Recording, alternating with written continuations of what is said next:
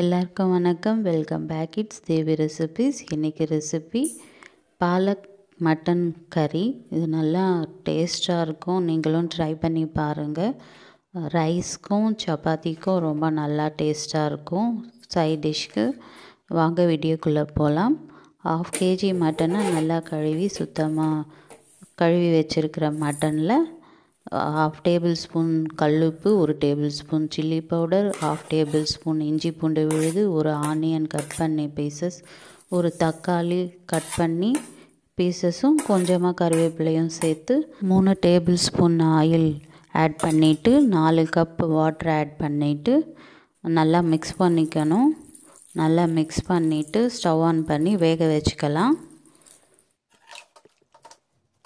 Mutton வேகிறதுக்குள்ளே நம்ம பாலக்கை ready பண்ணிக்கலாம். பாலக் பேஸ்ட்டை ஒரு பாத்திரத்தில் மூணு கப் அளவு வாட்டர் ஊற்றி ஸ்டவ் ஆன் பண்ணிவிட்டு முடி போட்டு பாயில் வர வரைக்கும் கொதிக்க வச்சுக்கணும்.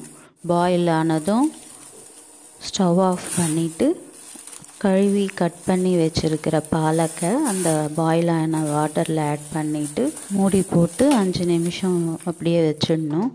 அஞ்சு நிமிஷத்துக்குள்ளே அந்த பாயிலான அந்த வாட்டர்லேயே வெந்துடும். பாலக் சீக்கிரமாக வெந்துடும் சாஃப்ட் ஆகிடும் அஞ்சு நிமிஷத்துக்கு அப்புறம் அந்த கூல் ஆகிட்ட பிறகு ஜாரில் ஆட் பண்ணிவிட்டு கிரைண்ட் பண்ணிக்கணும் பேஸ்ட் ஆட்டும்.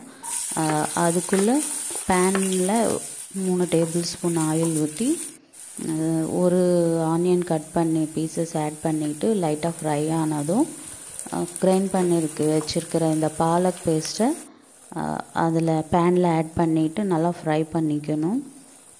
கொஞ்சமாக தண்ணி ஜாரில் ஆட் பண்ணிவிட்டு ஊற்றிக்கலாம் அந்த ஆயிலில் நல்லா மிக்ஸ் ஆகிற வரைக்கும் ஃப்ரை பண்ணிக்கணும். ஏன்னா ஸ்மெல் வரும்.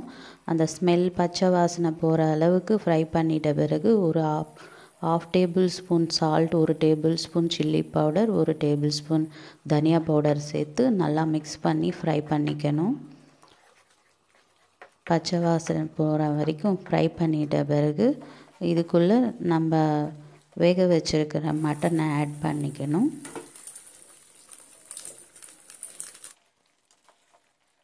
நல்லா மட்டன் ஆட் பண்ணிட்ட பிறகு பாலக்கும் மட்டனும் நல்லா மிக்ஸ் ஆகிற மாதிரி நல்லா கலக்கி விட்டுக்கணும்.